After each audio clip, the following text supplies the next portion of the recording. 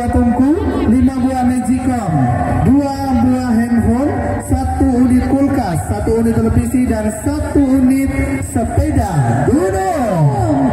Wow, luar biasa. Ayo, pada semuanya lebih mendekat, mendekat ya. Kita bilang haus dan ternyata Anda masih berada di sini sedih banget kan ya. Oke, bisa Ya, lagi. ini